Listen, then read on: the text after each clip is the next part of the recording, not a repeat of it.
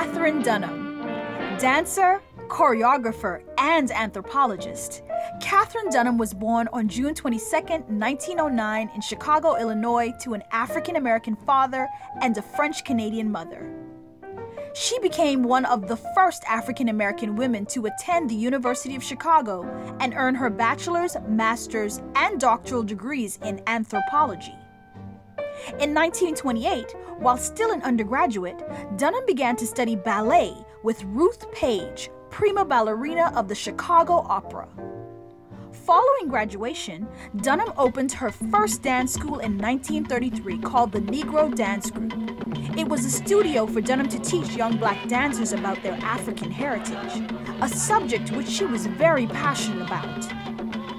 Katherine Dunham and her company, the Negro Dance Group, revolutionized American dance in the 1930s by going to the roots of black dance and rituals, transforming them into significant artistic choreography that speaks to all mankind. In 1935, Ms. Dunham met one of America's most highly regarded theatrical designers, John Pratt. They married in 1949 and the couple adopted and raised Marie Christine, an 18 month old French toddler. Katherine and John formed a powerful personal and creative team that lasted until his death in 1986.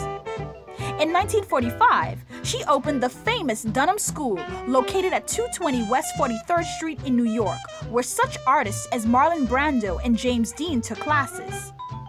Dunham's big breakthrough to popular recognition took place when she opened at the Windsor Theater in a program called Tropics and Le Jazz Hot. It was supposed to be a one night event, but demand was such that Dunham ended up doing 13 weeks and followed with her own tropical Revue, which was a hit not only in the United States, but also in Canada. She appeared at the Martin Beck Theater in October of 1940 as Georgia Brown in Cabin in the Sky, which she also choreographed with renowned ballet dancer George Balanchine. She then founded the Katherine Dunham Dance Group, which later developed into the famous Katherine Dunham Company, devoted to African American and Afro Caribbean dance. Katherine Dunham, often referred to as the matriarch of black dance, is credited for being one of the most important pedagogues of dance.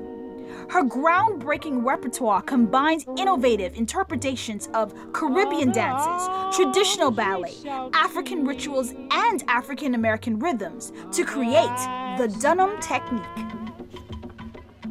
The Dunham Company toured for two decades, stirring audiences around the globe in 57 countries with their dynamic and highly theatrical performances.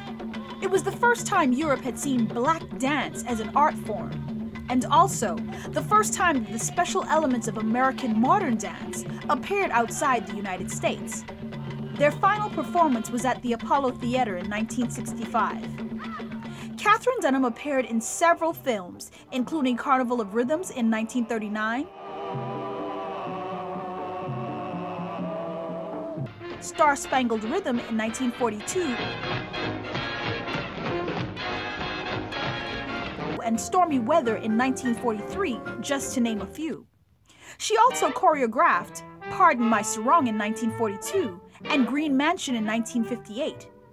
In 1966, Dunham created the Performing Arts Training Center and the Dunham Dynamic Museum in East St. Louis, Illinois, birthplace of Apostle and First Lady Malone.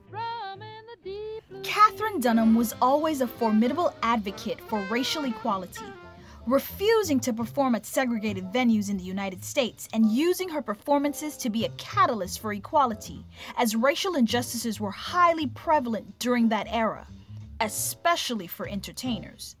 She was also politically active on both domestic and international rights issues, and made national and international headlines by staging a hunger strike of 47 days in 1993 at the age of 82 to protest the U.S. government's repatriation policy for Haitian immigrants.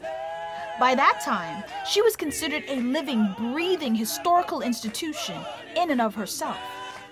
Throughout her distinguished career, Katherine Dunham earned numerous honorary doctorates, awards, and honors.